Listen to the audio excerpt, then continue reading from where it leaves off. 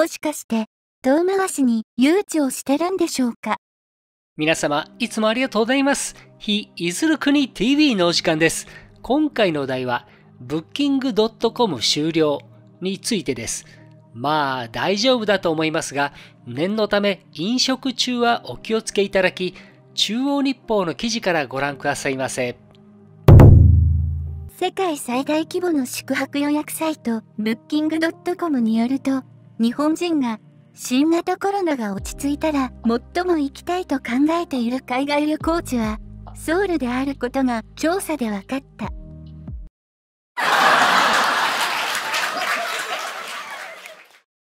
では、気を取り直して、Booking.com 日本が顧客を対象に2ヶ月間、3月、4月、新型コロナが落ち着いたら行きたい海外旅行地、ウィッシュリストに保存した10万箇所の旅行地を分析した結果、ソウルが最も多いことが分かった。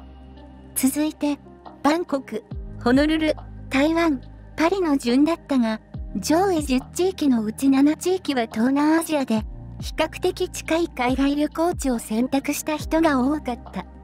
一方、日本のブッキングドットコム利用者は、旅行地や宿泊施設のハートマークをクリックしてウィッシュリストに登録するが、今回の調査で51%が自国旅行を登録したことが分かった。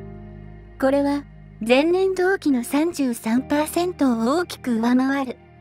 新型コロナの影響で国内旅行への関心が高まったとみられる。との内容です。うんうん。わかりますよ。行きたくないところの1位と間違えたんですよね。どのみち、お隣のメディアですし、記事のデータによると3月4月の集計なんで、現時点に置き換えると南北の緊張が高まって、もしかすると更地になるかもしれないところに誰しも行きたいとは思わないでしょうね。ちなみに日本国内の旅行に関しては、依然コロナには気をつけなければいけませんが、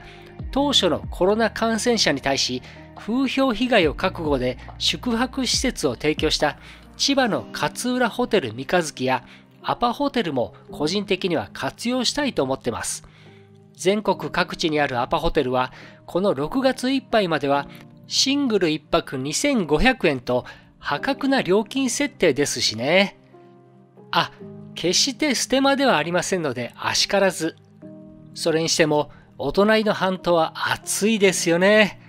このまま行くと70年ぶりにルビコン川を渡ってしまいそうです。